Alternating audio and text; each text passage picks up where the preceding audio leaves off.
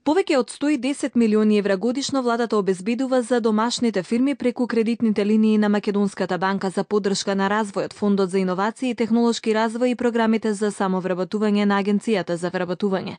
Историски невисоката кредитна линија од 350 милиони евра од Европската инвестициска банка, владата ја обезбеди пред 6 години во периодот на светската економска криза. Од тие 350 милиони евра, 319 милиони евра се веќе искористени, 1000 1583 македонски мали и средни предпријатија ги добија овие пари и реализираа соодветен број на проекти со отварање на 6441 работно место. Македонската банка за поддршка на развојот овозможува повеќе кредитни линии во висина од околу 50 милиони евра годишно со субвенционирана каматна стапка за купување на опрема и машини.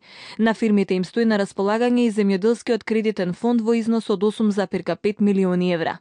Преку фондот за иновации и технолошки развој, кој годинава располага со 2,5 милиони евра, на фирмите им нуди 4 финансиски инструменти: грантови за стартап, спин-оф компании и иновации до 30.000 евра Грантови условени заеми за комерцијализација на иновацијата во износ од 100.000 евра, грантови за трансфер на технологија во износ до 200.000 евра и поддршка за формирање на акцелератори до 500.000 евра.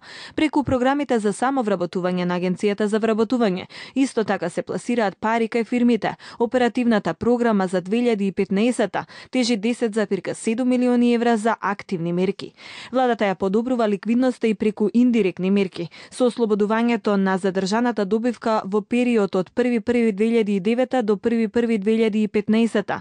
Кај фирмите годишно останува од 80 до 100 милиони евра или вкупно 500 милиони евра. Остана кај фирмите на располагање на место да бидат оданочени. Сето ова значително ја подобри финансиската позиција на фирмите, а Македонија на овој начин стана една од ретките земји кои во текот на светската економска криза и европската должничка криза немаше отпуштање на работници.